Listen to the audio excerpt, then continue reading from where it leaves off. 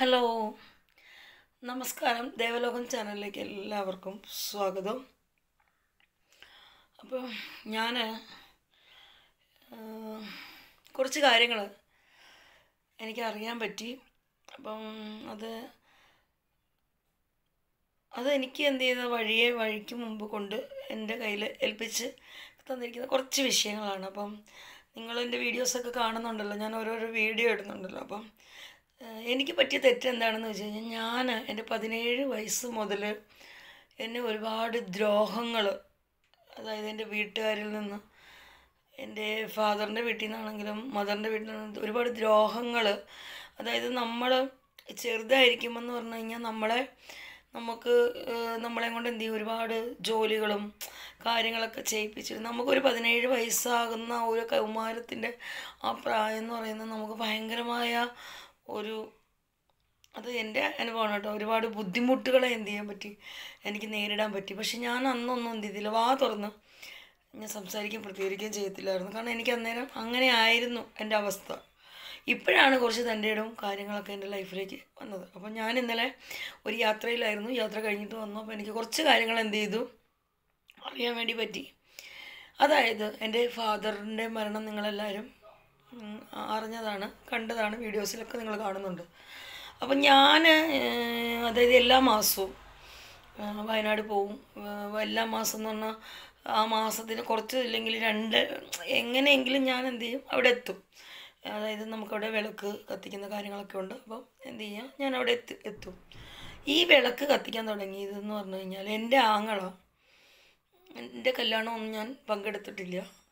ആങ്ങള സ്നേഹിച്ചാണ് എന്ത് ചെയ്തത്? കല്യാണം കഴിച്ചത്. ഒരു സർജറിക്ക് വേണ്ടി കുക്ഷപ്പേട് എന്ന് പറയുന്ന ചേലോട് ഹോസ്പിറ്റലിൽ സർജറിക്ക് ഇവനെ കൊണ്ട് ആക്കുമ്പോൾ അതായത് ഇവന്റെ ഒരു പ്രകൃതം എന്ന് പറഞ്ഞു കഴിഞ്ഞാൽ വീട്ടിൽ ഒരുപാട് പ്രശ്നങ്ങളുണ്ടായിരുന്നു അപ്പോൾ ഇവന്റെ പ്രകൃതം എന്ന് പറഞ്ഞു കഴിഞ്ഞാൽ അതായത് ഇവന് അതെന്റെ അനിയന് എന്ന് പറയുന്നത് എന്റെ ആങ്ങളയ്ക്ക് അതായത് ബ്രസ്റ്റ് ഒരുപാട് എന്ത് ചെയ്തു? ഇങ്ങനെ ലേഡീസിനെ പോലെ ഒരുപാട് ബ്രസ്റ്റ് ഇങ്ങനെ ഇതാവുകയും ഇപ്പോൾ നല്ല വണ്ണവും അങ്ങനെയൊക്കെ ആയി കഴിഞ്ഞപ്പം ഈ ബ്രസ്റ്റിന്റെ സർജറി വേണ്ടി ഇവനെ കൊണ്ടുപോയി. സർജറി ചെയ്യാൻ വേണ്ടി ഇവനെ കൊണ്ടുപോയ സമയത്ത് അതായത് ആ സമയം ഇവനെ ശുശ്രൂഷിക്കാൻ വേണ്ടി വന്നിരിക്കുന്ന ഒരു നേഴ്സ് അവനെ പരിചയപ്പെടുകയും ആ നേഴ്സുമായിട്ട് എന്ത് ചെയ്യുന്നു സംസാ ആ ഹോസ്പിറ്റലിൽ വെച്ച് നാടകങ്ങളെല്ലാം ഇവരെ അപ്പനും അമ്മയും ആങ്ങളെയൊക്കെ ആയിട്ട് കയറി.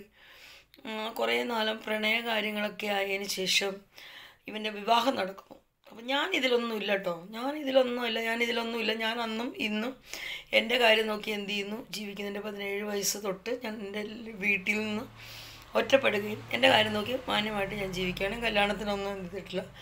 ഞാൻ പോയിട്ടില്ല. കല്യാണത്തിനൊന്നും ഞാൻ പങ്കെടുക്കാൻ പോകട്ടെ അപ്പോൾ എന്റെ അമ്മ എന്നെ വിളിച്ചിട്ട് പറയും മോളെ ഇടയ്ക്ക് വിളിക്കും എന്റെ നമ്പർ എനിക്ക് വലിയ താല്പര്യമൊന്നുമില്ല. ഇടയ്ക്ക് എന്നെ വിളിക്കും. ഞാൻ അധികം എന്റെ നമ്പറുകൾ പലപ്പോഴും ഞാൻ എനിക്ക് ബുദ്ധിമുട്ടാണെന്ന് കാണുമ്പോൾ ഞാൻ മാറ്റി ഇടും. ഞാൻ ഇവരെ അങ്ങോട്ട് വിളിക്കില്ല ഇവരെ ഇങ്ങോട്ട് വിളിച്ച് മോളെ ഭവനത്തിന്റെ വിളക്കാ. നല്ല മോള.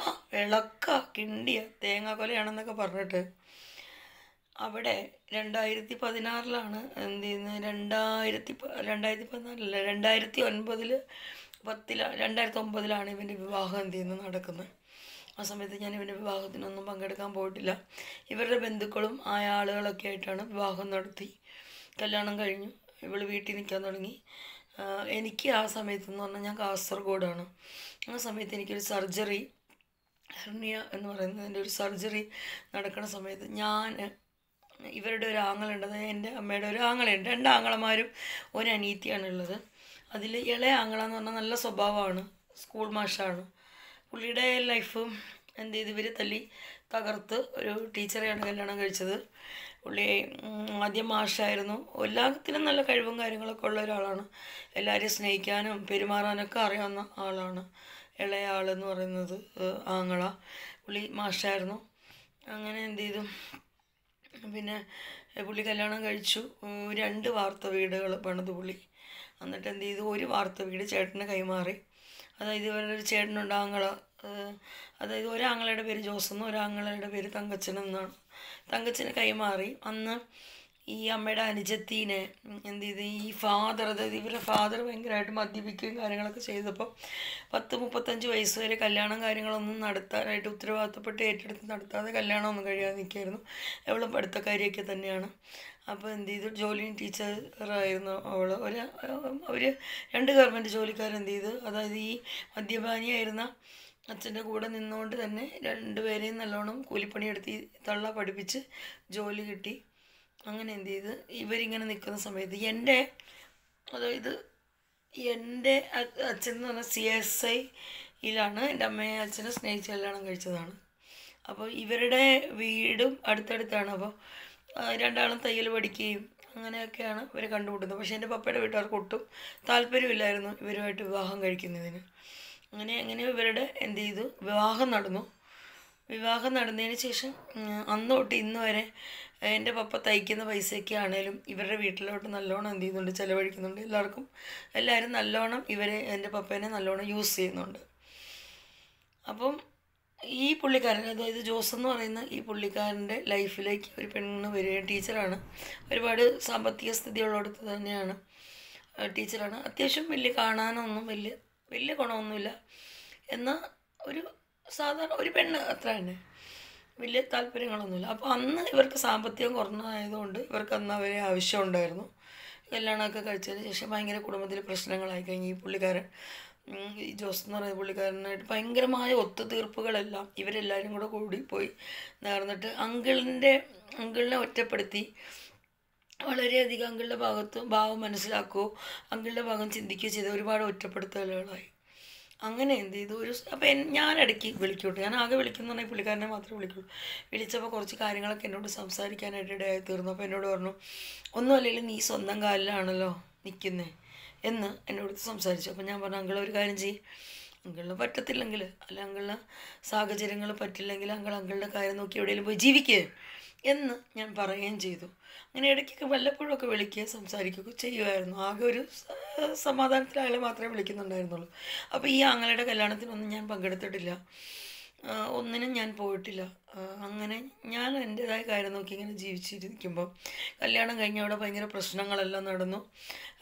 ഈ ഇവൾ ജോലിക്ക് ഇറങ്ങിപ്പോയില്ല ഈ തള്ള പല വീടുകളിലും വേല വീട്ടു ജോലിക്കായിട്ടോ അങ്ങനെയൊക്കെ ആയിട്ട് ഇറങ്ങി തിരിച്ചു പോയപ്പോൾ പപ്പനെ ഇവർ പപ്പ അവിടെ താമസമുണ്ട്. ഇവൾ പപ്പയ്ക്ക് ആഹാരം മര്യാദയ്ക്ക് വെച്ചു കൊടുക്കുകയൊന്നും ചെയ്യാതെ പപ്പ പുറത്തോട്ട് പോകുമ്പോൾ ഇവൾ ഓരോന്നും ഉണ്ടാക്കി പെറുക്കി തിന്നുകയും കൊച്ചിന് കൊടുക്കുകയൊക്കെ ചെയ്തു. അങ്ങനെ ഒരുപാട് ബുദ്ധിമുട്ടുകൾ അവിടെ നടന്നിട്ടുണ്ടെന്നാണ് പപ്പ പറയുന്നത്. പിന്നെ അപ്പാപ്പ ഇവിടെ എന്തെങ്കിലും നടക്കുകയാണെങ്കിൽ ഫോട്ടോ എടുത്ത് അപ്പോൾ ഒരു കൊല കുത്തിയാലും അത് ഫോട്ടോ എടുത്തിട്ട് എന്ത് ചെയ്യും? എന്റെ ആങ്ങളയ്ക്ക് അയച്ചു കൊടുക്കുക. അങ്ങനെയൊക്കെ ഭയങ്കര പ്രശ്നങ്ങൾ അവിടെ നടന്നു. ഒരുപാട് പ്രശ്നങ്ങൾ നടന്നു. എന്റെ പപ്പയ്ക്ക് ഭയങ്കര നിൽക്കക്കള്ളിയില്ലാതെ വന്നപ്പോൾ ഞാനൊരു കഥാപാത്രത്തെ നിങ്ങൾക്ക് പരിചയപ്പെടുത്തി തരാം ഈ കഥാപാത്രമാണ് ഭയങ്കര മായ വീട് ഞങ്ങളുടെ വീട് തകർത്തുകൊണ്ട് ഞങ്ങളെ വീട്ടിനെ തമ്മി തല്ലി തെറ്റിച്ച് നിൽക്കുന്ന ഒരു കഥാപാത്രമാണ്. അവന്റെ പേരാണ് മൂലക്കര വിൽസൺ. ഞാൻ നിങ്ങളുടെ പല വീഡിയോയിലും പറഞ്ഞിട്ടുണ്ട്.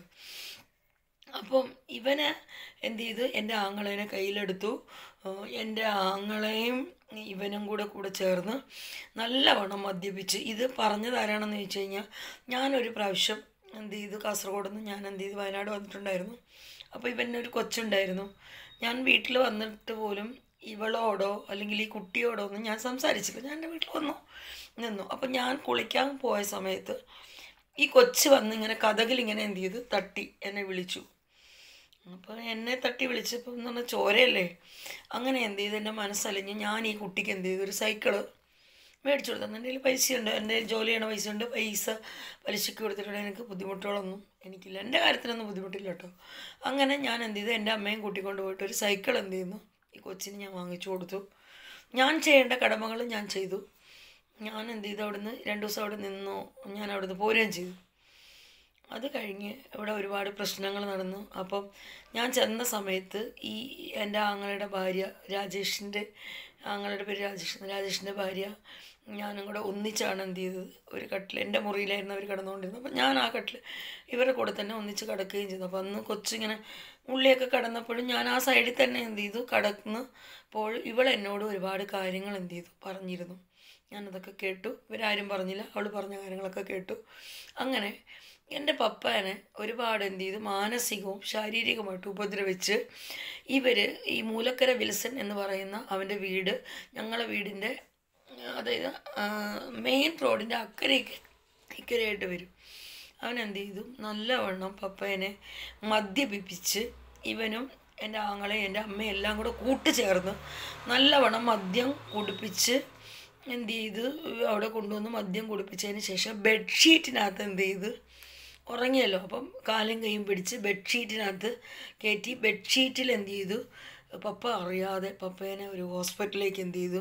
ഇവർ കൊണ്ടാക്കുകയാണ്. ഇവരുടെ ഇവരുടെ ട്രിസ്റ്റ് അവിടെ തുടങ്ങുകയാണ്.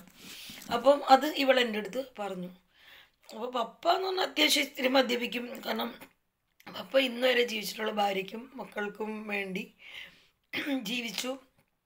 ഭാര്യയെ നല്ലോണം നോക്കി. പക്ഷെ ഭാര്യ അങ്ങനെയല്ലായിരുന്നു. പപ്പയുടെ പണവും അവളുടെ ആളുകളെയും വെച്ചിട്ടുള്ള ടാർജറ്റ് കളിയായിരുന്നു. അപ്പം പലപ്പോഴും എന്റെ പപ്പയുടെ അമ്മയും പപ്പയുടെ പെങ്ങളുടെ വീട്ടിൽ ഞാൻ കുറച്ചു കാലം നിന്നിട്ടുണ്ടായിരുന്നു. പപ്പയുടെ അമ്മയും പപ്പയുടെ പെങ്ങളും എല്ലാം കുറച്ച് എന്റെ അമ്മയെക്കുറിച്ച് നല്ലോണം കാര്യങ്ങൾ പറയുമ്പോഴും ഞാൻ അന്ന് എനിക്ക് മനസ്സിലാക്കാനുള്ള പക്വതയില്ലെങ്കിലും കഥകൾ ഞാൻ കേൾക്കുമായിരുന്നു. ഇത്രയും ക്രൂരമായ ഒരു മനോഭാവമുള്ള സ്ത്രീയാണെന്ന് ഞാൻ അറിഞ്ഞില്ല.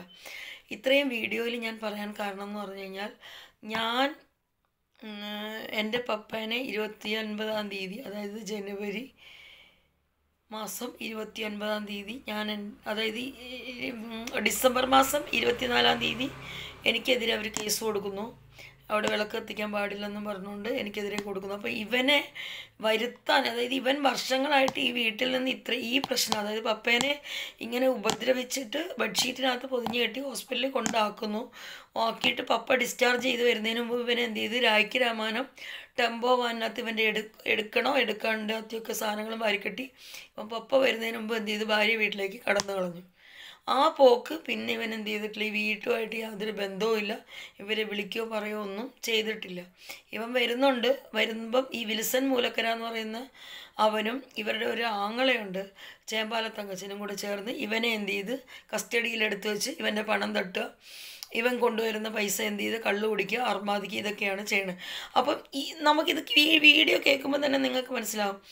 ഇവർ മനഃപൂർവം എന്റെ വീടും എന്റെ വീട്ടുകാരെയും എന്ത് ചെയ്യുന്നുണ്ട്? ആക്രമിച്ചുകൊണ്ടാണ് ഇരിക്കുന്നത്. ഈ തള്ള അതായത് ഈ ഇപ്പോൾ അവർക്ക് അറുപത്തഞ്ച് വയസ്സുണ്ട്. ഈ തള്ളയ്ക്ക് അത്യാവശ്യം സാമാന്യ ബോധം ഉണ്ടെങ്കിൽ ചിന്തിക്കാനുള്ള വിവരം ഉണ്ടെങ്കിൽ അഞ്ചാം ക്ലാസ് വിദ്യാഭ്യാസമുള്ളൂ. ചിന്തിക്കാനുള്ള വിവരം ഉണ്ടെങ്കിൽ ഇത് ചിന്തിച്ചെടുക്കാവുന്ന കാര്യങ്ങളേ ഉള്ളൂ. ഞാൻ ഈ വല്ലപ്പോഴും വരുന്ന കാര്യങ്ങൾ ഈ കാര്യങ്ങൾ കേട്ട് ഞാൻ മനസ്സിലാക്കുന്നത് ശരിക്കും ഈ തങ്കച്ചനും ഈ വിൽസനും കൂടെ ചേർന്നുകൊണ്ട് എന്റെ കുടുംബം എന്ത് ചെയ്യാണ്? തകർത്തോണ്ടിരിക്കുകയാണ്. അവന്റെ ഭാര്യ സിസിലി എന്ന് പറഞ്ഞ എല്ലാവരും കൂടെ ചേർന്ന് ഞങ്ങളുടെ കുടുംബം തകർത്തോണ്ടാണ് എന്ത് ചെയ്യുന്നത് ഇരിക്കുന്നത്. കാരണം എന്റെ അമ്മ ഒരു ദിവസം അവിടെ ചെന്ന് അതായത് ഞാൻ പറഞ്ഞില്ലേ രണ്ട് ആങ്ങളമാർ ആരുണ്ട് അതിൽ ജോസ് എന്ന് പറയുന്ന ആൾ രണ്ട് വാർത്ത വീട് വെച്ചിട്ട് ചേട്ടനും അനിയനും കൈമാറിയപ്പോൾ അതായത് എന്റെ പപ്പയാണ് അമ്മയുടെ അനുജത്തീനെ എന്ത് ചെയ്യുന്നത് കെട്ടിച്ചു വിടുന്നത് അമ്മയുടെ അനുജത്തീനെ കെട്ടിച്ചു വിടുന്നതെന്ന് പറഞ്ഞാൽ കാർന്ന ഒരു മാതാപിതാക്കൾ ചെയ്യേണ്ട കടമ എന്ത് ചെയ്തു? എന്റെ പപ്പ ഏറ്റെടുത്തു. അത് ആരോടോ കല്യാണക്കാര്യം പറഞ്ഞു. അവർ വന്ന് കണ്ടു. ഇഷ്ടപ്പെട്ടു. അങ്ങോട്ടും ഇങ്ങോട്ടും കാര്യങ്ങളായി. വാ വിവാഹം ഇതായി കഴിഞ്ഞപ്പോൾ എന്റെ പപ്പയുടെ കയ്യിൽ കിടന്ന മോതിരം എന്ത് ചെയ്തു? അത് കൊണ്ടുപോയിട്ട് നല്ലോണം തുടപ്പിച്ച് അതിന്റെ മേളിൽ സ്റ്റിക്കർ ഒട്ടിച്ചിട്ട് ആണ് എന്ത് ചെയ്തത്. അതായത് എന്റെ അമ്മയുടെ അനിയത്തിയുടെ ഭർത്താവിന് എന്ത് ചെയ്യുന്നു? മോതിരം കൈമാറ്റം അങ്ങോട്ടും ഇങ്ങോട്ടും മോതിരം കൈമാറ്റം നടത്തി പേരെഴുതിയ മോതിരം കൈമാറ്റം കൊടുത്തിപ്പോൾ എന്റെ പപ്പയുടെ മോതിരമാണ് എന്ത് ചെയ്തത്? പുള്ളിയുടെ കയ്യിലെടുത്ത് ഇട്ട് കൊടുത്തിട്ടാണ് ഇവർ കല്യാണം നടത്തുന്നത്. എന്റെ പപ്പ ഒരിക്കൽ പപ്പ പലപ്പോഴും പപ്പ പറഞ്ഞിട്ടുണ്ട് ഞാൻ എന്റെ ഭാര്യയുടെ അനിയത്തിക്ക് വേണ്ടി ഇറങ്ങി തിരിച്ച് ഭാര്യയുടെ അനിയത്തിക്ക് വേണ്ടിയിട്ട് ഞാൻ കാര്യങ്ങൾ അന്വേഷിച്ചപ്പോൾ എനിക്കൊരു മോളുണ്ടെന്ന് ഞാൻ എന്ത് ചെയ്തു? മറന്നുപോയി. അതായത് പപ്പ എന്നെ പപ്പയുടെ പെങ്ങളെ വീട്ടിലിട്ട് കൊണ്ടാക്കുമ്പോൾ പപ്പ ബസ്സിലിരുന്ന് സംസാരിച്ച കാര്യങ്ങളാണ്. ഒരു ആരോ ഒരാളോട് സംസാരിച്ച കാര്യങ്ങളാണ്. ഇത് എനിക്കൊരു മോളുണ്ടെന്ന് ഞാൻ മറന്നുപോയി. അവൾക്ക് പത്ത് പതിനേഴ് വയസ്സുണ്ടെന്നും ഒരു മോൾ ഉണ്ടെന്നും ഞാൻ മറന്നുപോയിട്ടാണ് അനിയത്തിനെ എന്ത് ചെയ്ത് കെട്ടിച്ചു അനിയത്തി നല്ല സുഖമായിട്ട് ജീവിക്കുന്നുണ്ട്. നല്ല ഒന്ന് രണ്ട് മൂന്ന് പിള്ളേരുണ്ട്. അവരെയൊക്കെ കല്യാണം കഴിഞ്ഞ് അവൾ നല്ല സുഖമായിട്ട് എന്ത് ചെയ്ത് എന്റെ എന്റെ ജീവിതം പോയാലും അവളെയൊക്കെ നല്ലോണം എന്ത് ചെയ്ത് പപ്പ നോക്കിയിട്ടുണ്ട്. പിന്നെ വേറൊരു കാര്യം ഇതിനകത്ത് പറയാനുള്ളതെന്ന് പറഞ്ഞു കഴിഞ്ഞാൽ അതായത് ഈ വിൽസൻ മൂലക്കരയാണ് വിൽസൻ മൂലക്കരെ ഇവരുടെ ആങ്ങളെ തങ്കച്ചിലുമാണ് ഈ കുടുംബം ഇത്രയും തല്ലി തകർത്തുകൊണ്ടിരുന്നത് പിന്നെ വിൽസൻ മൂലക്കരേനെ ഞാൻ എന്ത് ചെയ്തു? ഇന്നലെ എനിക്കൊരു നമ്പർ കിട്ടി. ഞാൻ വിൽസൺ മൂലക്കരേനെ കോണ്ടാക്ട് ചെയ്തു. അപ്പോൾ ഞാൻ പറഞ്ഞു അവൻ ഫോൺ എടുത്തു. ഞാനാന്ന് കണ്ടപ്പോഴത്തേക്കിനും അവൻ എന്ത് ചെയ്തു? ഫോൺ ബ്ലോക്ക് ചെയ്തു എന്നിട്ട് ഇവന്റെ ഫോണിൽ ഭാര്യയും ഭർത്താവും കൂടെ ചേർന്ന് നിൽക്കുന്ന ഒരു ഫോട്ടോ ഉണ്ട്. അത് ഞാൻ വൈകുന്നേരം നിങ്ങൾക്ക് കാണിച്ചു തരാം. അത് ഞാൻ എടുത്ത് വെച്ചിട്ടുണ്ട്. അപ്പോൾ തന്നെ ഞാൻ ഫോ ഫോണിൽ ഞാൻ ഫോട്ടോ മാറ്റിയിട്ടുണ്ടായിരുന്നു. പെട്ടെന്ന് എന്ത് ചെയ്തു? ഇവനും എന്റെ ഭാര്യയും കൂടെ നിൽക്കുന്ന ഫോട്ടോ അങ്ങ് മാറ്റി. ഇവനാണ് പപ്പ മരിച്ച സമയത്ത് കള്ളും കുടിച്ച് കാര്യങ്ങളെല്ലാം അവിടെ ഭയങ്കരമായ കുടിസഭയും കള്ളു കുടിസഭയും നടത്തിയിട്ട് ഞാൻ ഇന്നലെ അറിഞ്ഞ കാര്യം എന്താണെന്ന് വെച്ച് കഴിഞ്ഞാൽ അവിടെയുള്ള അതായത് എന്റെ പപ്പയുടെ ഒരു ചേ അതായത് എന്റെ പപ്പയുടെ അപ്പന്റെ ജ്യേഷ്ഠന്റെ മകന്റെ മ വീട് അവിടെ തൊട്ടടുത്തുണ്ട്. എന്നുവെച്ചാൽ വലിയ സഹകരണങ്ങളൊന്നുമില്ല. എന്നാലും പപ്പയും പിന്നെ എന്റെ ആങ്ങളേന്റെ അടുത്ത് സഹകരിച്ച് ഇവർ കുടുംബം തകർക്കുമായിരുന്നു ഇവരും വലിയ വലിയ പുള്ളികളൊന്നുമല്ല. അങ്ങനെ എന്ത് ചെയ്തു അത് ഞാനിപ്പോൾ പറയുന്നില്ല. അങ്ങനെ എന്ത് ചെയ്തു അവർ അതായത് അവരുടെ അതായത് പപ്പ മരിച്ചു കിടക്കുമ്പോൾ ഈ തള്ള എല്ലാ അപ്പം പോസ്റ്റ്മോർട്ടം ഞാൻ വേണമെന്ന് ആവശ്യപ്പെട്ടിരുന്നു. എനിക്കറിയണമല്ലോ മരണം അങ്ങനെ ഇരുപത്തൊമ്പതാം തീയതി ഞാൻ പോകുമ്പോൾ ഒരു കുഴപ്പമില്ല എന്നോട് ഒച്ചപ്പാടുണ്ടാക്കിയ വീഡിയോസാണ് ഞാൻ ഇട്ടിരിക്കുന്നത്. ഈ ഇരുപത്തൊമ്പതാം തീയതി ഞാൻ പോയി കഴിഞ്ഞതിന് ശേഷം മകൻ അവിടെ ഉണ്ട്. വർഷങ്ങൾക്ക് ശേഷം ഈ ഇങ്ങനെ പപ്പേനെ ദ്രോഹിച്ചിട്ട് അവിടെ നിന്ന് പോയതാണ്. വർഷങ്ങൾക്ക് കൊണ്ട് പപ്പയ്ക്ക് അവനോട് പകയുണ്ട്. പപ്പയ്ക്ക് നല്ല വൈരാഗ്യമുണ്ട്. അപ്പം പപ്പേനെ പല രീതിയിലും സംസാരിച്ച് സോപ്പിട്ട് കയ്യിലെടുത്തിട്ടാണ് ഇവന്റെ വിവാഹം ഡൈവേഴ്സായിട്ട് ഇവൻ ഇവിടേക്ക് വന്നിരിക്കുന്നത്. അതായത് എന്റെ മമ്മിയുടെ അമ്മ കഴിഞ്ഞ വർഷം മരിച്ചു. മരണപ്പെടുന്നു. ആ മരണപ്പെടുന്ന സമയത്താണ് ഇവനുമായിട്ട് കോണ്ടാക്ട് ചെയ്ത് ഇവന്റെ കല്യാണം ഡൈവേഴ്സ് ആയെന്നൊക്കെ ഇവരറിയുന്നതും അന്നോട്ട് ഇവർക്ക് ഭ്രാന്ത് തുടങ്ങിയതാണ് എന്റെ അമ്മയ്ക്ക്. അപ്പോൾ ഇവരിതൊന്നും എന്നോട് പറഞ്ഞില്ല. ഞാൻ വീട്ടിൽ കുറച്ച് പ്രശ്നങ്ങൾ നടന്നപ്പോൾ പള്ളിയിലേക്ക് എന്ത് ചെയ്തു? ഇവരുടെ പള്ളിയിലേക്ക് ഒരു ലെറ്റർ എന്ത് എഴുതി എഴുതി കൊടുത്തു. ഞങ്ങൾ രാത്രി കൊണ്ട് കൊടുക്കുന്നു. ഇങ്ങനെ കുറച്ച് ബുദ്ധിമുട്ടുകളുണ്ട്. ഇതൊന്ന് പറഞ്ഞ് പരിഹരിച്ച് തരണം എന്ന് പറഞ്ഞ്. ഞങ്ങൾ അവിടെ പള്ളിയിൽ പോയിരുന്നു. അവരതൊന്നും പരിഹരിച്ചില്ല. അതായത് ഒന്ന് മനസ്സിലാക്കണം. ഞാൻ എന്റെ വീട്ടിൽ വെച്ചിരിക്കുന്ന വിളക്ക് എന്ന് പറഞ്ഞു കഴിഞ്ഞാൽ എന്റെ അപ്പനും അമ്മയും അതായത് ചെന്നലോട് പള്ളിയിലുള്ള അതായത് എനിക്കെതിരെ ഒപ്പിട്ട് അതായത് എന്റെ അപ്പൻ മരിച്ചു കിടന്നപ്പം ഇവർ എന്ത് ചെയ്തു? പലരെയും കൊണ്ടും എന്ത് ചെയ്തു? പേപ്പർ അപ്പം മരിച്ചു കിടക്കുന്നു. പലരെയും കൊണ്ടും വെള്ള പേപ്പറിനകത്ത് എഴുതി എന്റെ അമ്മ എല്ലാവരെയും കൊണ്ടും ഒപ്പ് വെപ്പിച്ചെന്നാണ് പറഞ്ഞത് ഞാൻ അറിഞ്ഞത്. എന്തിന് ഒപ്പ് വെപ്പിച്ചു എന്ന് എനിക്ക് മനസ്സിലാകുന്നില്ല അതായത് ഞാൻ ആ വീട്ടിലോട്ട് ഒന്നിനും ചെല്ലരുത്. ഞാൻ അവിടെ ഒന്നിനും ശല്യപ്പെടുത്തരുത്. ഇവൾ ഇവർക്ക് എന്ത് ചെയ്യണം? ഭർത്താവ് മരിച്ചിട്ട് ഇവരുടെ ഒരാളുണ്ട്. അവനുമായിട്ട് സുഖമായിട്ട് അവിടെ എന്ത് ചെയ്യണം? കയറി ഇറങ്ങി ജീവിക്കണം. അതിനാണ് ഞാൻ ആ വീട്ടിലോട്ട് ചെല്ലരുതെന്ന്. അത് വേറെ ആരാണെങ്കിലും കുഴപ്പമില്ല. അതായത് സ്വന്തം കുടുംബത്തിൽ സ്വന്തം ചോരേനെ തന്നെയാണ് എന്ത് ചെയ്തിരിക്കുന്നത് ആവശ്യങ്ങൾക്ക് വേണ്ടി എടുത്ത് എന്ത് ചെയ്ത്? കൂടെ നടക്കാനും കൂടെ കൊണ്ടുനടക്കാനും കൂടെ ഇരുത്താനൊക്കെ എന്ത് ചെയ്തിരിക്കുന്നു? ഉപയോഗിച്ചിരിക്കുന്നു. ഇതൊക്കെ നമുക്ക് പൊട്ടന്മാരെല്ലാം നമുക്ക് കാണുമ്പോൾ മനസ്സിലാവും. ഞാൻ അവിടെ ചെന്നപ്പം ഞാൻ അങ്ങോട്ട് പപ്പ മരിച്ചു കിടക്കുമ്പോൾ ഞാൻ അങ്ങോട്ട് ചെല്ലുമ്പം പ്രശ്നങ്ങളായി ഞാൻ അങ്ങോട്ട് ഇറങ്ങുമ്പം ഇവൻ അങ്ങോട്ട് വാതിലിന്റെ അടുത്തോട്ട് ഇവൻ വന്നിട്ട് പറയുകയാണ് "ഹും, ഇവിടെ കയറിപ്പോയാ മുട്ടുകാൽ തല്ലുപിടിക്കുന്നത് അതാ പറയാൻ അവനാര് എന്റെ അപ്പന്റെ മണ്ണ് എന്റെ അപ്പന്റെ വീട്. ഞാൻ ജനിച്ചു വളർന്ന വീട്ടിൽ കണ്ട ചെമ്മനും ചെരുപുത്തിയും കണ്ട വേശ്യനൊന്നും കയറി നിരങ്ങിയിട്ട് എന്റെ മുട്ടുകാൽ തല്ലുപിടിക്കേണ്ട പറയേണ്ട കാര്യങ്ങളില്ല. എവന്റെ ഭാര്യ ക്യാൻസർ വന്ന് മരിച്ചുപോയി. ഇവന്റെ അമ്മയുണ്ട് വീട്ടിൽ അവളെ പോയിട്ട് എന്ത് ചെയ്യണം? സ്വന്തം പെങ്ങളെ ദുരുപയോഗം ചെയ്യുമ്പം അതിലും നല്ലത് സ്വന്തം അമ്മേനെ ദുരുപയോഗം ചെയ്യണം. അതാണ് കുറച്ചുകൂടെ ടേസ്റ്റ് മനസ്സിലായോ മലയാള ഭാഷയിൽ പറഞ്ഞു കഴിഞ്ഞാൽ കേട്ടോടാ ജോസെ ചേമ്പ അതായത് ചുണ്ട് ജോർജിന്റെ അനിയൻ ജോസെ. നിന്റെ അമ്മേനെ കുറച്ചുകൂടെ കൊണ്ടടക്കുകയും കൂടെ കിടക്കുകയും ചെയ്യണതാണ് നല്ലത്. മനസ്സിലായി? ഞാൻ ഇത്രേ പറയുന്നുള്ളൂ.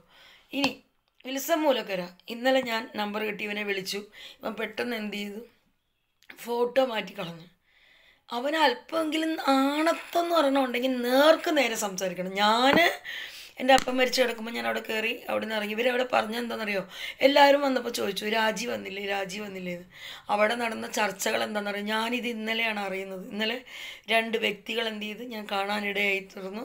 അവരെ ഞാൻ മുഖം മറച്ചപ്പോൾ അവരെന്റെ അടുത്ത് വന്ന് സംസാരിച്ച് കാര്യങ്ങൾ പറഞ്ഞപ്പോഴാണ് പറഞ്ഞത് എന്റെ അപ്പം മരിച്ചു കിടക്കുമ്പോൾ അവിടെ ഭയങ്കര ചർച്ചകൾ നടന്നു. രാജി വന്നു രാജീനെ അടിച്ചോടിച്ചു എന്താ അന്തസ് രാജി ഈ രണ്ടായിരത്തി ഒമ്പത് തൊട്ട് രണ്ടായിരത്തി അതായത് ഇരുപത്തി രണ്ട് വരെ ആ വീട്ടിൽ എല്ലാ മാസവും ചെല്ലുമായിരുന്നു എല്ലാ മാസവും വിളിക്കുമായിരുന്നു എന്നെ ഫോൺ ചെയ്ത്. നിങ്ങൾ വരുന്നില്ലേ നിങ്ങൾ വരുന്നില്ലേ? പിന്നെ എന്റെ ഭർത്താവിനെ. എന്റെ ഭർത്താവിനെ ഞാനും കൂടെ ഒന്നിച്ചവിടെ പോവുകയും ഒന്നിച്ചവിടെ കിടന്നുറങ്ങുകയും.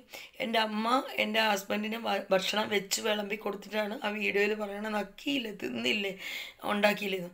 ഞാൻ ഡിസംബറിൽ ചെന്നപ്പം രണ്ട് പേർക്കും എന്ത് ചെയ്തു? ക്രിസ്മസിന് തുണിയെടുത്ത് കൊണ്ടുപോയി. ഞാൻ അവിടെ നിന്നപ്പോഴത്തേന് കേക്ക് ചിക്കന് എല്ലാ സാധനവും ഞാൻ മേടിച്ചു. ഞാനിനി അവിടെ ചെല്ലുന്ന സമയത്ത് എന്ത് ചെയ്യുന്ന ഞാൻ ഇനി അവിടുന്ന് ഭക്ഷണം കഴിക്കണ്ടെന്ന് വിചാരിച്ചിട്ട് അതിനി വിളിച്ചു പറയണ്ടെന്ന് വിചാരിച്ചിട്ട് ഞാൻ രണ്ട് ചപ്പാത്തി പാക്കറ്റ് എന്ത് ചെയ്തു? ഫ്രിഡ്ജിൽ കൊണ്ട് വെച്ചിട്ട് ഞാൻ അവിടെ ഇല്ലാത്തപ്പോൾ അതെടുത്ത് ചൂടാക്കിയിട്ട് എന്റെ അമ്മ തിന്നു. അത്രയേ എടുത്ത് തിന്നിട്ട് അതെടുത്ത് തിന്നിട്ട് എനിക്കത് ഇഷ്ടമാണ്. ഞാൻ അവിടുത്തെ കഴിക്കാതിരിക്കാൻ വേണ്ടിയിട്ടാണ് എനിക്കും എന്റെ കൂടെയുള്ള വ്യക്തി കാരണം ഞാൻ തന്നെ ഉള്ളപ്പോൾ പറഞ്ഞാൽ ഞാൻ ചിലപ്പോൾ കഴിക്കത്തില്ല. ഞാൻ ചിലപ്പോൾ വെളിയിൽ പോയി കഴിക്കും. നമ്മുടെ കൂടെയുള്ള ആളുകളെ നമുക്ക് മാനിക്കാതിരിക്കാൻ പറ്റുമോ? ഞാൻ എനിക്ക് കഴിക്കാൻ വേണ്ടി രണ്ട് ചപ്പാത്തി പാക്കറ്റ് മേടിച്ച് ഫ്രിഡ്ജിൽ വെച്ച് ഇതൊന്നും പറയാൻ വീഡിയോയിൽ പറയേണ്ട കാര്യങ്ങളല്ല. ഞാൻ ഉദാഹരണത്തിൽ പറയാം. ഞാൻ എനിക്ക് എനിക്ക് വേണ്ടിയിട്ട് എടുത്ത് തൽക്കാലം ചെല്ലുമ്പോൾ കാപ്പി ഉണ്ടാക്കുക ഒരു തടസ്സം വേണ്ട. രണ്ട് ചപ്പാത്തി ആണെങ്കിലും ഉണ്ടാക്കിയ ഒരു തക്കാളി ഫ്രൈ ആയാലും ഞങ്ങൾ സെപ്പറേറ്റ് മേടിച്ചിട്ട് അത് ഉണ്ടാക്കാൻ നിന്നപ്പോൾ അതിൽ നിന്ന് എന്ത് ചെയ്തു? ചപ്പാത്തി എടുത്തിട്ട് എനിക്ക് അതാണ് ഇഷ്ടം. അങ്ങനെയല്ല ഒരുമാതിരി വൃത്തികെട്ട സ്വഭാവം കാണിക്കുന്ന ഒരു സ്ത്രീയാണ് എന്റെ അമ്മ. ഇനി അവർ കാണിച്ചതിൽ ഏറ്റവും വൃത്തികെട്ട ഒരിതാണ് എന്റെ അപ്പം മരിച്ചു കിടക്കുമ്പം. എല്ലാ അയലന്തർ അതായത് അയലന്തർ എന്ന് പറയാൻ അവിടെ ആരുമില്ല. ഒന്ന് ഇല്ലിച്ചിറയിലെ ബെന്നി ഒന്ന് ചൂർണോലിക്കിലെ ജയന് സുജ അങ്ങനെയൊക്കെയുള്ള അതായത് അവരുടെ അപ്പം മരിച്ചു പോയി ക്യാൻസർ വന്ന്. അങ്ങനെയൊക്കെയുള്ളവരാണ് എഴുതി ഒപ്പിട്ട് കൊടുത്തത് പിന്നെ ഒന്ന് മിലിറ്ററിക്കാരനാണ്.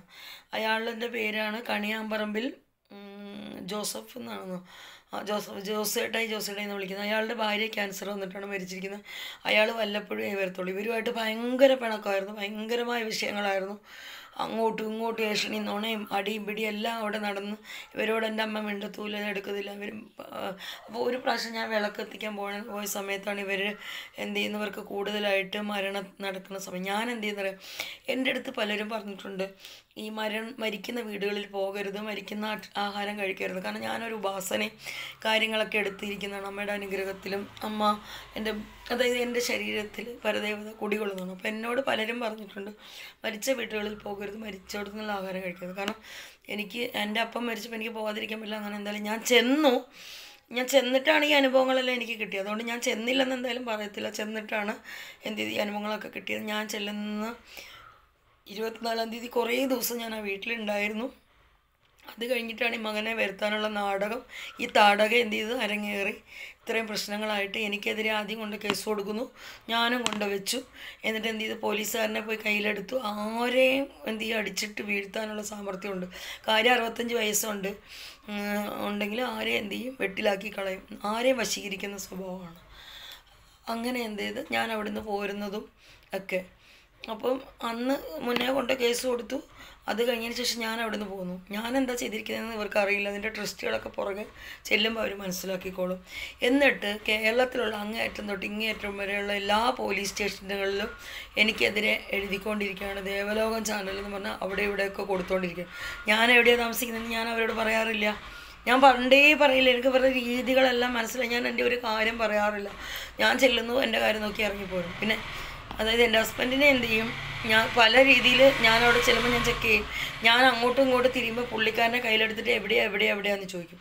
പുള്ളി ഒരു പാവമായിരുന്നതുകൊണ്ട് പുള്ളീനെ കയ്യിലെടുക്കാൻ വന്നു. എന്നിട്ട് പുള്ളീനോട് ഞാൻ പറഞ്ഞിട്ടുണ്ട് എവിടെ എന്താണെന്നൊന്നും പറയാൻ നിൽക്കരുതെന്ന് പറഞ്ഞു കഴിഞ്ഞിട്ടുണ്ടെങ്കിൽ കാരണം ഇപ്പം തന്നെ നമുക്ക് ഇത്രയും പ്രശ്നങ്ങൾ നമ്മൾ മുന്നം കൂട്ടി നമ്മൾ ഇവരെ മനസ്സിലാക്കി നിന്നു.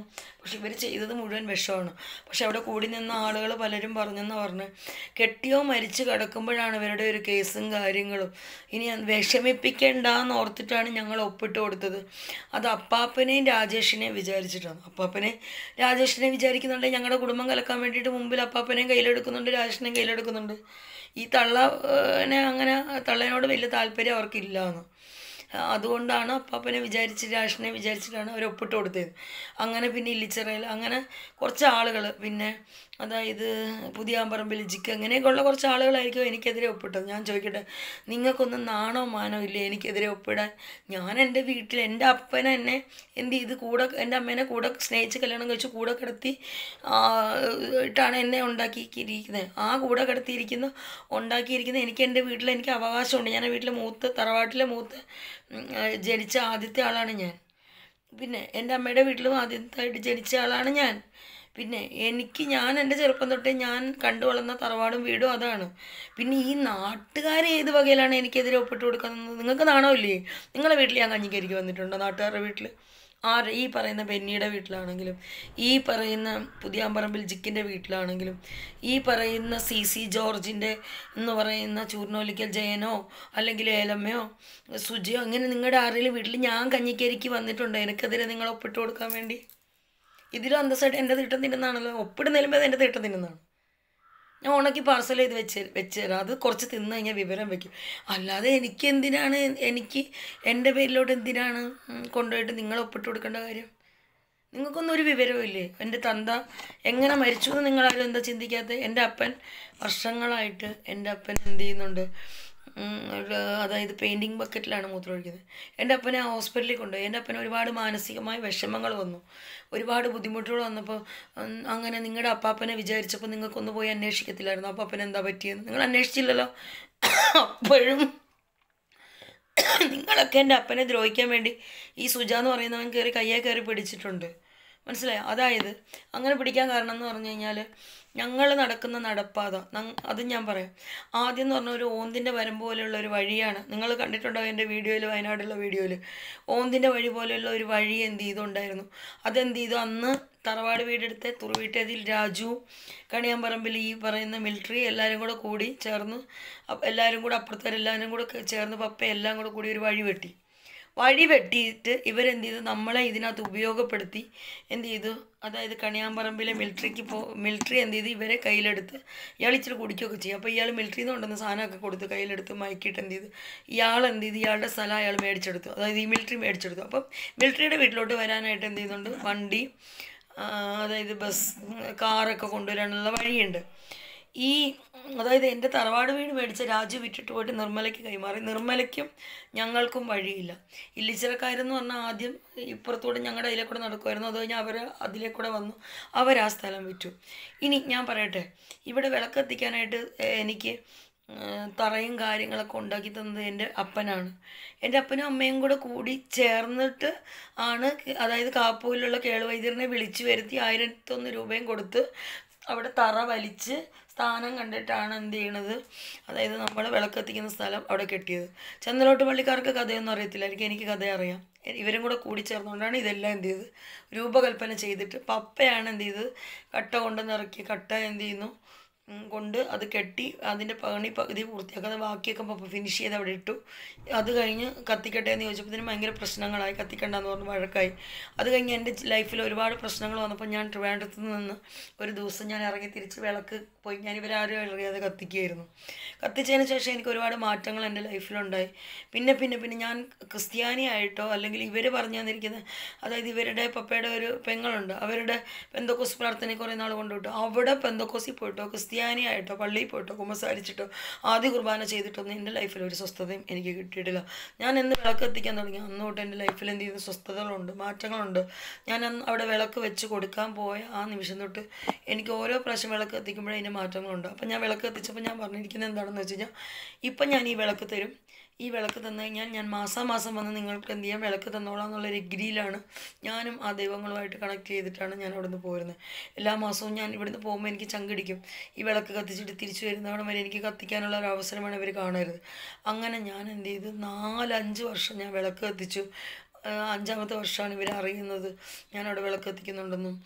പിന്നെ ഞാൻ തുടർന്ന് തുടർന്ന് എല്ലാ മാസവും വിളക്ക് കത്തിക്കുകയും ചെയ്യും. കത്തിച്ച വിളക്ക് സാധാരണ കത്തിച്ച് കഴിഞ്ഞിട്ട് എടുത്ത് മാറ്റി വയ്ക്കലാണ്.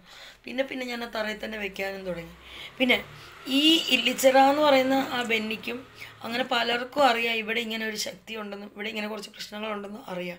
ഇവരെന്ത് ചെയ്തെന്നറിയാം ഭയങ്കരമായ ഇല്ലിച്ചിറക്കാർക്ക് ഭയങ്കരമായ ബുദ്ധിമുട്ടുണ്ട്. ഇവരവിടെ നിന്ന് ഇറങ്ങി വീട് കുരിശിട്ടിട്ട് അവരവിടെ പൂട്ടിക്കെട്ടിയിട്ട് ഇവരവിടെ നിന്ന് ഇറങ്ങിയിട്ട് ഞാൻ ഒരു ദിവസം ചെന്നപ്പോൾ എന്നോട് പറഞ്ഞു ചാച്ചൻ ഒക്കെ വന്ന് സ്ഥലം എടുക്കുമ്പോഴേ പറഞ്ഞിട്ടുണ്ട്. ഇവിടെ ഇങ്ങനെ ഒരു പ്രശ്നമുണ്ടെന്ന് ചാച്ചനോടൊക്കെ പറഞ്ഞിട്ടുണ്ട് എന്ന് പറഞ്ഞിട്ട് എന്നോട് പറഞ്ഞു രാജി നീ എങ്ങനെയെങ്കിലും സ്ഥലം വിൽക്കാനുള്ള വിൽക്കാനായിട്ടുള്ള എന്ത് ചെയ്യണം? ഒരു കാര്യം നീ എന്തെങ്കിലും ചെയ്യുന്നു അപ്പോൾ ഞാൻ പറഞ്ഞു ഒരു കാര്യം ചെയ്യാം. ഞാൻ ഞാൻ സ്ഥലം വയ്ക്കി ഈ ഇല്ലിച്ചിറയിലെ ബെന്നിയാണ് പറയുന്നത് ഞാൻ സ്ഥലം വയ്ക്കാനുള്ള കാര്യം ചെയ്തു തരാം. ഞാൻ പറഞ്ഞു എനിക്കൊരു കുപ്പി എണ്ണയും തിരിയും തരാൻ പറഞ്ഞു. അപ്പം ഞാൻ കുറച്ച് ദിവസം കൊറോണയുടെ സമയമൊക്കെ വന്ന സമയത്ത് ഞാൻ അവിടെ വീട്ടിൽ എന്ത് ചെയ്യുന്നുണ്ട് കണ്ടിന്യൂ അമ്പലത്തിൽ പോവും. രാവിലെയും വൈകുന്നേരവും ആ വിളക്ക് തറയിൽ എന്ത് ചെയ്യും? വിളക്ക് കത്തിക്കുമായിരുന്നു. ഒരുപാട് ഞാൻ കത്തിക്കുമായിരുന്നു. പിന്നെ അവിടെയുള്ള അമ്മയ്ക്ക് ഈ ഒരു പരദേവതയ്ക്ക് ഞാനൊരു വാളൊക്കെ പണിത് വെച്ചിട്ടുണ്ടായിരുന്നു തിരുവനന്തപുരത്ത് നിന്ന് തന്നെ. അപ്പോൾ അതൊക്കെ കഴിഞ്ഞിട്ടാണ് ഞാൻ അവിടെ വിളക്ക് കത്തിക്കെടുക്കുകയും ചെയ്തത്. കുറേ ദിവസം ഞാൻ എന്ത് വിളക്ക് കത്തിക്കും. അമ്പലമായിട്ടൊക്കെ ഞാൻ കണക്ട് ചെയ്തു. പിന്നെയെന്ന് പറഞ്ഞു കഴിഞ്ഞാൽ ഞാൻ പൂജ പഠിച്ച് പൂജാരണി എന്നുള്ള സർട്ടിഫിക്കറ്റ്സ് ഒക്കെ എന്റെ കയ്യിലുണ്ട്. എനിക്ക് അമ്പലത്തിലെ സർട്ടിഫിക്കറ്റും കാര്യങ്ങളൊക്കെ എന്റെ കയ്യിൽ എഴുതി പഠിച്ചൊക്കെ തന്നത് എന്റെ കയ്യിൽ ഇരിപ്പുണ്ട്. എന്നെ ആർക്കും ഒന്നും ചെയ്യാൻ പറ്റില്ല. ഞാൻ എന്ത് വിശ്വസിക്കണമെന്ന് ഞാൻ എന്ത് കഴിക്കണമെന്ന് ഞാൻ ആരുടെ കൂടെ കിടക്കണം എന്നൊക്കെ തീരുമാനിക്കുന്നത് എന്റെ വ്യക്തിപരമായ കാര്യങ്ങളാണ്. മറ്റാരുമല്ല. പിന്നെ ഇത്രയും കാലം ഈ നാട്ടുകാരെല്ലാം കൂടെ കൂടി എന്റെ പപ്പ മരിച്ചപ്പോൾ എനിക്കെതിരെ ഒപ്പിട്ട് കൊടുത്തെന്ന് പറഞ്ഞു. നാണോ മാനോ നിങ്ങൾക്കൊന്നും? മേരിയുടെ കൂടെ കൂടിയിട്ട് ഇതുമാതിരി ചീപ്പ് തേർഡ് റേറ്റ് പരിപാടിക്ക് നിൽക്കാൻ വേണ്ടി. ഞാൻ നിങ്ങൾ ആരെങ്കിലും വീട്ടിൽ വന്നിട്ടുണ്ടോ? നിങ്ങൾ ആരെങ്കിലും എനിക്ക് ചിലവിന് തരുന്നുണ്ടോ? നിങ്ങൾ ആരെങ്കിലും ഭക്ഷണം തരുന്നുണ്ടോ? പിന്നെ എന്തെന്നും പറഞ്ഞിട്ടാണ് നിങ്ങൾ എനിക്കെതിരെ ഒപ്പിട്ട് കൊടുത്തത്? നിങ്ങൾ ഒപ്പിട്ട് കൊടുത്തിരിക്കുന്ന ഒരു കാരണം എനിക്ക് വെളിപ്പെടുത്തി താ സത്യമായിട്ട് ഞാൻ പറയാം എനിക്ക് ആരൊക്കെ ഒപ്പിട്ട് കൊടുത്തിട്ടുണ്ടോ അവരുടെ എല്ലാ പേരിൽ ഞാൻ എന്ത് ചെയ്യും കേസ് ഞാൻ ഫയൽ ചെയ്യും. കഥയല്ല ജീവിതം മനോരമ ന്യൂസ് പത്രങ്ങളിൽ വിവിധ ചാനലുകളിലെല്ലാം ഞാൻ ഈ പ്രശ്നങ്ങളിടും. എന്റെ നാട്ടിൽ തന്നെ പല ന്യൂസ് ചാനലുകളും ഞാൻ എടുക്കും. എല്ലാവരെയും ഞാൻ പെടുത്തും. എല്ലാവരെയും ഞാൻ പെടുത്തും. കാരണം നിരപരാധിയായ ഒരു സ്ത്രീയെ ഇട്ട് ക്രൂശിക്കുന്നതിന് ഒരു പരിധിയുണ്ട്. ഞാനൊരു പെണ്ണാണ്. ഞാൻ നിങ്ങളുടെ ആരുടെ വീട്ടിൽ വന്നിട്ടില്ല? ഞാൻ നിങ്ങളോട് ആരോട് ഒരു സങ്കടം പറയാൻ വന്നിട്ടില്ല? നാട്ടിൽ എന്നെ മലേഷാജിയും എം എ ജോസഫും തങ്കച്ചനും ഷെയറിലേക്ക് ഉപദ്രവിച്ച പ്രശ്നങ്ങൾ നാട്ടുകാർക്ക് മൊത്തം അറിയാം. അതിന്റെ കേസ് കോടതിയിൽ നടക്കുന്നുണ്ട്. അതിന്റെ കേസ് നടക്കുന്നുണ്ട്. അതിനെതിരെ കൗണ്ടർ കേസ് കൊടുത്തു. ഈ കൗണ്ടർ കേസിന്റെ കോപ്പിയും കൗണ്ടർ കേസിന്റെ എല്ലാ ഫയലുകളും എന്റെ കയ്യിലുണ്ട്. നിങ്ങൾ കൊടുത്തിരിക്കുന്ന എല്ലാ എല്ലാത്തിന്റെയും കേസിന്റെ ഫയലുകളുടെ കോപ്പി എന്റെ കയ്യിലുണ്ട്. ഞാനത് വായിച്ചപ്പം എന്ത് ചെയ്തിട്ടുണ്ട്? പലരും എന്ത് ചെയ്തിട്ടുണ്ട്? ഈ ഒരു പ്രശ്നങ്ങളിൽ ഞാൻ ഒരു പെൺകുട്ടി അവിടെ നാട്ടിൽ വന്ന് അവളുടെ ഫോട്ടോ എടുത്തു. ഞാനത് കണ്ട് ചെല്ലുമ്പോഴാണ് ആ പ്രശ്നങ്ങൾ അറിയുന്നത് ആളുകൾ അവിടെ ചുറ്റും. അപ്പം ഞാൻ ചോദിച്ചു എന്താ അർച്ചന പ്രശ്നം? എന്ന് പറഞ്ഞാൽ നമ്മളെ വീട്ടിലോട്ട് നമ്മൾ പരിചയമില്ലാത്തൊരു പെൺകുട്ടി വെയിറ്റിംഗ് ഷെഡി വരുമ്പോൾ ഒരു ഫോട്ടോ എടുക്കണം. നിങ്ങൾ പറ. തെറ്റല്ലേ? അവിടെയുള്ള ആളുകൾ ചെയ്തതാണ്. അതായത് വയനാട്ടിൽ എന്റെ നാട്ടിൽ കൗമന്നം എന്ന് പറയുന്ന സ്ഥലത്ത് ആളുകൾ ചെയ്തതാണ് ഫോട്ടോ എടുത്തത്. അത് തെറ്റല്ലേ? ഒരു പെൺകുട്ടിയുടെ ഫോട്ടോ എടുത്തു. ഞാനിത് അറിഞ്ഞുകൊണ്ട് ഒരു അങ്ങോട്ടും ഇങ്ങോട്ടും സ്ഥലം മാറ്റി പറഞ്ഞു കൊടുത്തു. ഞാൻ പടിഞ്ഞാറത്തറ ചെല്ലുന്നു. അപ്പോൾ അവിടെയാണെന്ന് പറഞ്ഞാൽ ആദ്യം അവിടെ ചെന്നു. അവിടെ നിന്ന് അപ്പോൾ പറയുന്ന അല്ല കുന്നം വന്നു. ഈ കുട്ടി കർണാടകക്കാരിയാണ്. കാവുമെന്ന് പറയുന്നത് കുന്നം എന്നാണ് ഇത് പറയുന്നത്. ഇതിന് പരിചയമൊന്നും അറിയില്ല. ഞാൻ ചെല്ലുമ്പോൾ ആ വെയിറ്റിംഗ് ഷെഡിൽ നിൽക്കുക വെയിറ്റിംഗ് ഷെഡിൽ നിൽക്കുന്നുള്ള ആരുമായിട്ടുള്ള ഒരു ഒരു കാര്യം അവൾ ചെയ്യുന്നില്ല. വെയിറ്റിംഗ് ഷെഡിൽ നിൽക്കുമ്പോൾ വളരെ വിഷമിച്ചിങ്ങനെ നിൽക്കുന്നു അവിടെ ഉള്ളവർ ആരോ മൊബൈലിൽ ഫോട്ടോ എടുത്തു അവൾ അത് മേടിച്ചു ഡിലീറ്റ് ചെയ്തു. അവൾ അവിടെ വിഷമിച്ച് നിൽക്കുകയാണ് എന്ത് ചെയ്യണമെന്ന് അറിയാതെ ആളുകളെല്ലാം ഇങ്ങനെ ചുറ്റും കൂടി നിൽക്കുമ്പോഴാണ് ഞാൻ ചെല്ലുന്നത്. ഞാൻ നിരപരാധിയാണ് ഞാൻ ഒന്നും അറിഞ്ഞിട്ടില്ല. ഞാൻ എന്താ അർച്ചന പ്രശ്നം എന്ന് ചോദിച്ചു. ആരാ നിന്റെ ഫോട്ടോ എടുത്തെന്ന് ചോദിച്ചു. ഞാൻ ചെന്നു. ചെന്നപ്പോൾ രാജി രാജി നിന്നെ എനിക്ക് ചെറുപ്പം തൊട്ട് അറിയാവുന്ന ഒരാൾ ആളാന്ന് പറഞ്ഞു. ഞാൻ ആ പ്രശ്നം വിട്ടു. പ്രശ്നം വിട്ടിട്ട് ഞാൻ പോയി ബസ് കയറി ഞാനങ്ങ് പോയ പ്രശ്നത്തിനാണ് ഈ തള്ള തള്ളയുടെ അനിയത്തിയുടെ വീട്ടിൽ നിന്നോ ജോലി കഴിഞ്ഞോ ഇവിടെ നിന്നോ വന്നപ്പോൾ മലേഷ് ഷാജി എന്ന് പറയുന്നവനെ കാണുകയും മലേഷ്യാജി പറയും പിള്ളേരെയും കൂട്ടിയിട്ട് ചേച്ചി വീട്ടിലോട്ട് വാ. ഒത്തു തീർക്കാം. മലേഷാജി ഷാജി എന്ന് പറഞ്ഞാൽ ലോക ഫ്രാഡാണ്. അവൻ വെറും ഇതാണ്. അവൻ ഒരു ദിവസം ഞാനും എന്റെ അമ്മയും കൂടെ കൈച്ചേൻ ഞാൻ വീട്ടിൽ നിൽക്കുന്ന സമയത്ത് കൽപ്പറ്റ പോയിട്ട് കൈച്ചേൻ മേടിച്ചുകൊണ്ട് വരുന്ന സമയത്തുണ്ടല്ലോ ഇവൻ ഈ ഉപദ്രവിക്കുന്നതിന് മുമ്പ് എന്റെ ഫോൺ നമ്പർ ചോദിച്ചു. ഇവൻ പല പല പല രീതി വൃത്തികെട്ട സ്വഭാവം എന്നിലൊക്കെ ഉണ്ട്. അപ്പോൾ അതൊക്കെ നമ്മൾ ഒഴിഞ്ഞു മാറിയേ നിൽക്കണം. നമ്മളതൊന്നും മൈൻഡ് ചെയ്യണില്ല. ഉടനെ എന്ത് ചെയ്തു? ഫോൺ നമ്പർ ചോദിച്ചപ്പോൾ ഞാൻ പറഞ്ഞു എന്നിട്ട് വേണം നിന്റെ ഭാര്യ എന്ത് ചെയ്യണം? എന്റെ പെടലേക്ക് പിടിക്കാനെന്ന് പറഞ്ഞു. ഞാനങ്ങ് അന്നേരം തന്നെ അതിനുള്ള മറുപടിയും കൊടുത്തു. എന്നിട്ട് ഈ മലേഷാജി തങ്കച്ചനും ഇതൊക്കെ എഴുതി ആളുകളെ കൂട്ടിയിട്ട് കൗണ്ടർ കേസ് കൊടുത്തിരിക്കുന്നു. ഞാൻ ഷേർലീനെ തല്ലിയിരുന്നു എപ്പോഴാണ് ഷേർലീനെ ഞാൻ തല്ലിയത്? തല്ലിയെങ്കിൽ ഷേർലിക്ക് പാട് കാണുമല്ലോ ശരീരത്ത്. ഷേർലി അഡ്മിറ്റ് ആയായിരുന്നോ? അപ്പം എനിക്കെതിരെ നിന്നുകൊണ്ട് ഈ കൊടുക്കുമ്പോൾ ഞാൻ ചെക്കണേ നിങ്ങൾക്കൊക്കെ പെൺമക്കളുണ്ട് കെട്ടിച്ചു വിടാനും എല്ലാത്തിനും നിങ്ങൾക്കൊക്കെ പെൺമക്കളുണ്ട്. എനിക്ക് യാതൊരു ഇത് ഒന്നും എവിടെയും ബാധ്യതകളൊന്നുമില്ല. ഞാൻ ഇന്നും അന്തസ്സായിട്ട് ജീവിക്കുന്നു. എനിക്ക് നിങ്ങൾക്കൊന്നും കണക്കും തരേണ്ട കാര്യമില്ല. നിങ്ങളല്ല എനിക്ക് ചിലവിനായിരുന്നു ഞാൻ എന്റെ കാര്യം നോക്കി മാന്യമായിട്ട് ജീവിക്കും. ഞാൻ ആരുടെ കൂടെ കിടക്കണം? ഞാൻ എന്ത് ഭക്ഷണം കഴിക്കണം? ഞാൻ എന്ത് ഡ്രസ്സ് ഇടണം? ഞാൻ എങ്ങനെ ജീവിക്കണം തീരുമാനിക്കുന്നത് ഞാനാ. അല്ലാതെ എന്റെ നാട്ടുകാരും വീട്ടുകാരും അല്ല. ഈ തള്ള തന്ത മരിച്ചു കിടന്നപ്പോൾ എന്ത് ചെയ്തു? എല്ലാവരുടെ അടുത്തും പോയിട്ട് എന്ത് ചെയ്ത്? എനിക്കെതിരെ ഒപ്പിട്ടെന്ന് പറഞ്ഞു. അന്നേരമാണ് പറഞ്ഞ് "ഹും, നാണമില്ലേ? കെട്ടിയാൻ ചെത്ത് കിടക്കുമ്പോൾ കേസിനും വഴക്കിനും നടക്കാൻ ആളുകൾ അവിടെ ചർച്ച ചെയ്യുമെന്ന് പറഞ്ഞു. ഈ എല്ലാ ഡീറ്റെയിലും ഇന്നലെ എനിക്ക് എന്ത് ചെയ്തു? വാർത്തകളൊക്കെ കിട്ടി. വിൽസനെ ഞാൻ വിളിച്ചു ഇന്നലെ. വിൽസൻ എടുത്തു. നല്ല കൊടുത്തു ഞാൻ കണക്കിന്. നേർക്ക് നേരെ വരണ്ടടാ. വിൽസൻ ഉണ്ടല്ലോ വിൽസനെ അടിക്കാൻ വേണ്ടിയിട്ട് ഞങ്ങൾ അവിടെ നിന്ന് ആ പപ്പയുടെ ബോഡി കാണാതെ ഞങ്ങൾ അവിടെ നിന്ന് ഇറങ്ങി റോട്ടിൽ വന്നപ്പോഴത്തേക്കും വിൽസൻ കാറും കൊണ്ട് വന്ന് കാർ അവിടെ കൊണ്ടിട്ടിട്ട് അവൻ പത്തിലും എടുത്തുകൊണ്ട് വരുമ്പോൾ ഞാൻ ഇവനെ ഇങ്ങനെ കയറി പിടിച്ചു. ഞാൻ ഇവനെ ഇങ്ങനെ പിടിച്ചപ്പോണ്ടല്ലോ. ഇവന് ആരോഗ്യമൊന്നുമില്ല. ഇവൻ വെള്ളം അടിച്ചിട്ട് ഇവനെ ഒരു ആരോഗ്യമില്ലാത്ത പോലെയാണ് ഇവൻ നിൽക്കണം എന്നിട്ട് ഇവൻ എന്ത് ചെയ്യുന്നു വടിയും കൊണ്ട് ഓടണം. ഇവൻ ആ നാട്ടിലുണ്ടല്ലോ. ഒരാളെയും തല്ലി മേടിക്കാത്ത ആൾക്കാരില്ല. ചെന്നലോട്ട് പള്ളി പെരുന്നാളിൽ ഇവന് നല്ല എന്ത് ചെയ്യുന്ന ഇവൻ ചൊള്ളു കൊടുത്ത് ചുള മേടിക്കും. ഇവനെ തൊട്ടിയിൽ എന്ന് പറഞ്ഞൊരു ഫാമിലീസ് ഉണ്ട്. അവരെന്ത് ചെയ്യുന്ന സൈക്കിൾ ചെയിൻ അടിക്കും. നല്ല അടി നല്ല താങ്ങ് താങ്ങ് കിട്ടിയിട്ട് കിട്ടിയിട്ട് ഇവൻ പണ്ട് തൊട്ട് ഇവൻ അലമ്പാണ്. കള്ളുകൂടിയും പെണ്ണ് പിടുത്തവും ഒക്കെ ആയിട്ട് നടക്കുന്നവനാണ്. ഇവനെ കട്ടിലിനടിയിൽ നിന്ന് വെച്ചാൽ അവന്റെ അവന്റെ വീട്ടിൽ തന്നെ വേറൊരു സ്ത്രീനെ കൂട്ടിയിട്ട് കട്ടിലിനടിയിൽ നിന്ന് പിടിച്ചിട്ടുണ്ട്. നാട്ടിലുള്ള പല പെണ്ണുങ്ങളെടുത്ത് അവൻ എന്ത് ചെയ്ത്? ആ വിഹിതത്തിന് പോകും. അങ്ങനെ പല തെമ്മാടിത്തരം കാണിക്കണതാണ് ഈ വിൽസൻ പിന്നെ അവന് ആരോഗ്യം ഒന്നുമില്ല. ഞാൻ ഒരെണ്ണം കണക്കിന് കൊടുത്ത് താഴെ വീഴാവുന്ന കേസിട്ടേ ഉള്ളൂ. പക്ഷെ അന്നേരത്തെ സന്ദർഭം ഞാൻ വളരെ മാന്യത എന്ത് ചെയ്തു? വളരെ ബുദ്ധി ഞങ്ങൾ പ്രയോഗിച്ചു. ഞങ്ങൾ സൈലന്റായിട്ട് തന്നെ എന്ത് ചെയ്തു? ഇങ്ങ് പോകുന്നു ഒരൊറ്റ ഒരെണ്ണം കൊടുത്ത് താഴെ വീഴും. അത്ര ആരോഗ്യമുള്ളൂ. എന്നിട്ട് ഞാൻ ഇന്നലെ വിളിച്ചപ്പോണ്ടല്ലോ ഈ അണ്ടിക്ക് ഉറപ്പില്ലാത്ത പൂറിമോൻ എന്ത് ചെയ്ത്? നിങ്ങൾ തെറ്റിദ്ധരിക്കരുത്. ഇവന് ഉറപ്പ് വേണം. ആണായ ഉറപ്പ് വേണം. മനസ്സിലായി? ഇവൻ ഫോൺ എടുത്തിട്ട് അല്ലെങ്കിൽ തിരിച്ചു വിളിച്ച് എന്നോട് സംസാരിക്കണം. ആരാ എന്താണെന്ന് ചോദിക്കണം. ഇവൻ കട്ട് ചെയ്ത് ബ്ലോക്ക് ചെയ്ത്. ഇവനും ഭാര്യയും കൂടെ നിൽക്കണ ഫോട്ടോ വേഗം ബ്ലോക്ക് ചെയ്ത്. ഞങ്ങൾ എന്ത് സ്ക്രീൻഷോട്ട് എടുത്ത് വെച്ചിട്ടുണ്ട്. വൈകുന്നേരം കാണിച്ചു തരാം ഞാൻ വീഡിയോയിൽ ഇവന്റെ ഭാര്യേനെ ഇതൊക്കെ. ഇവന് മൂന്ന് പെൺമ ഇവൻ രണ്ട് പെൺമക്കളാണ്.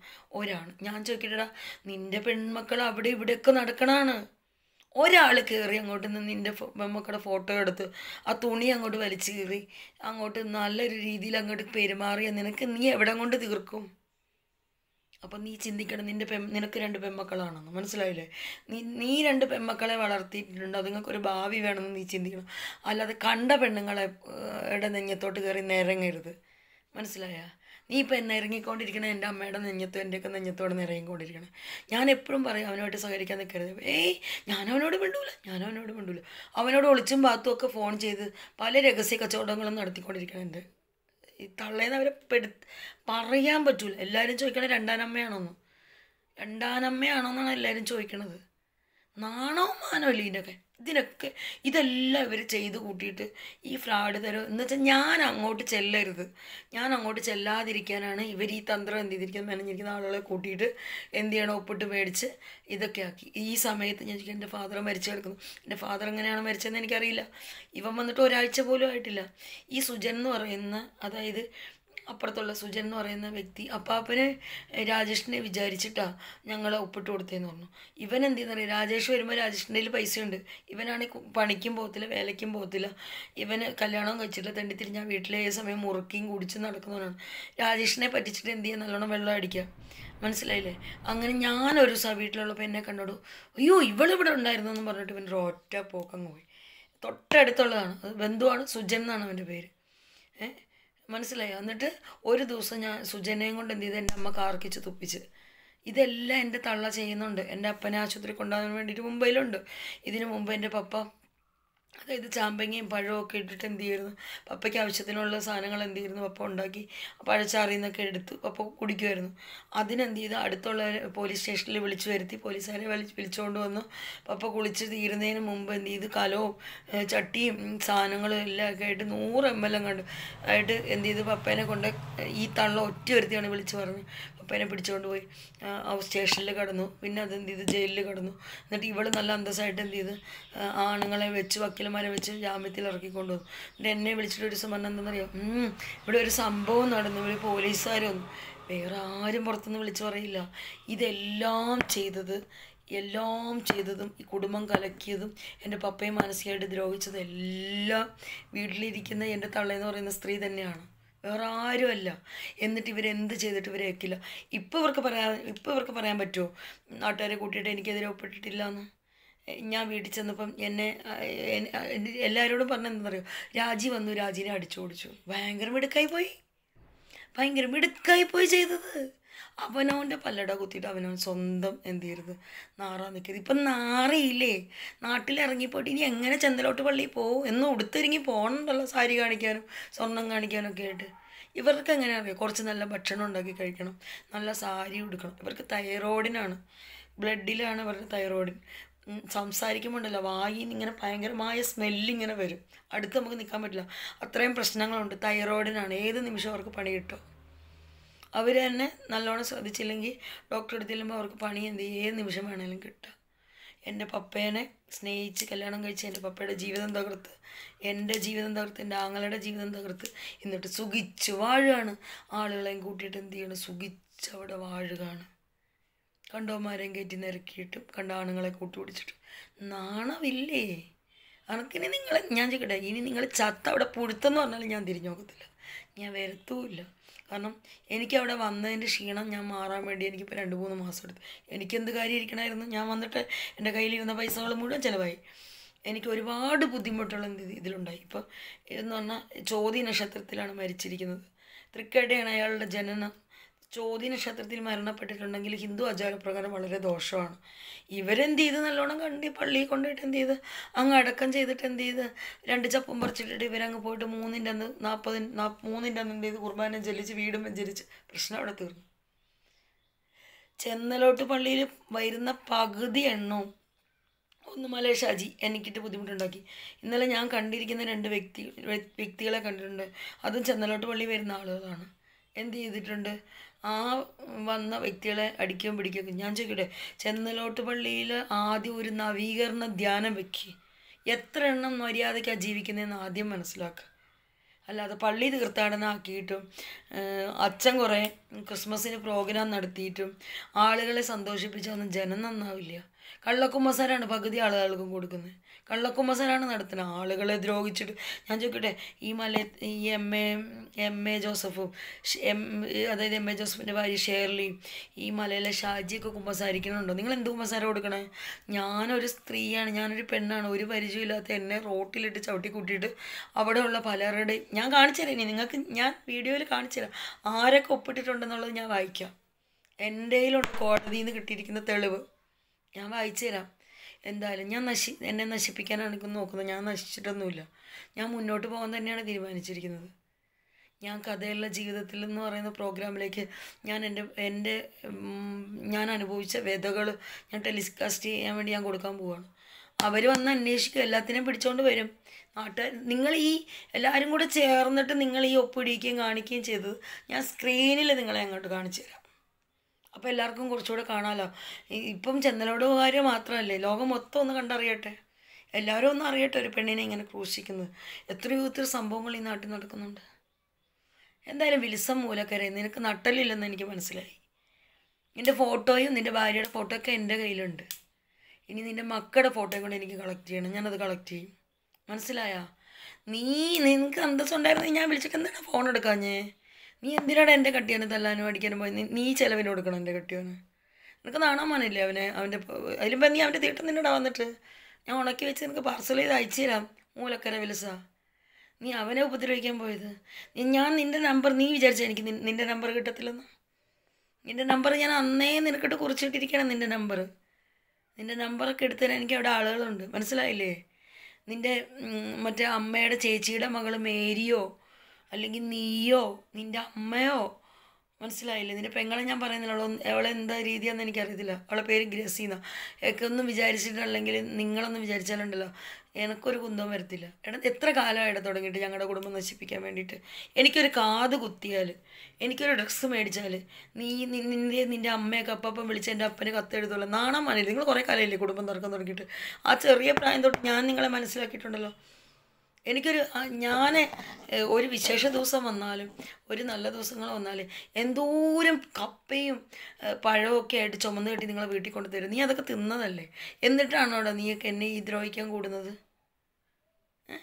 എന്തോ നീയൊക്കെ എപ്പോഴാണ് വലുതായി? നീ അതായത് നീ ടോമിയുടെ കടയിൽ പോയിട്ട് നീ ഒരു ഗതിയും പരഗതി ഇല്ലാതെ ആയിട്ടല്ലേ ടോമിയുടെ കടയിൽ പോയി നിന്ന്? അവസാനം ആ ടോമീനെ വരെ കൊല്ല കൊന്നെന്നല്ലേ നാട്ടിലെല്ലാവരും പറഞ്ഞുകൊണ്ട് കൊടുക്കണേ അവസാനം ടോമിയും ടോമിയുടെ കെട്ടികളെല്ലാം കൂടെ പോയി സ്വാമി സ്വാമിയുടെ അടുത്ത് പപ്പൻ സ്വാമിയുടെ അടുത്ത്.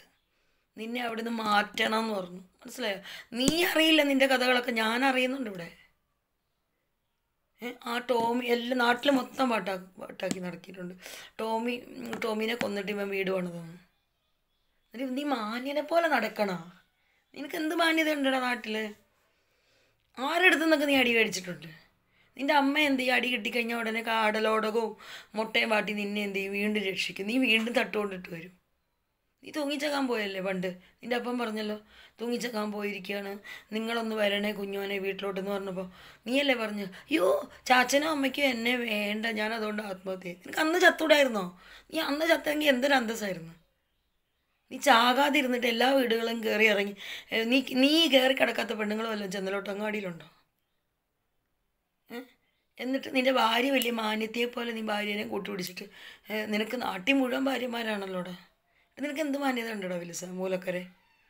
നീ ഫോൺ എടുത്ത് നീ എന്ത് നീ ആണാണെങ്കിൽ എന്താണ് ഫോൺ ഫോണിലുള്ള ഫോട്ടോസ് മാറ്റിയത് എന്തിന്? നീ അവിടെ ഇടണമായിരുന്നു ഫോട്ടോ നീ എന്റെ തന്ത മരിച്ചിടുന്നപ്പോൾ നീ ഇവിടെ കള്ളും കുടിച്ചിട്ട് വലിയ ആളാവാൻ നിൽക്കണല്ലേ തായളി.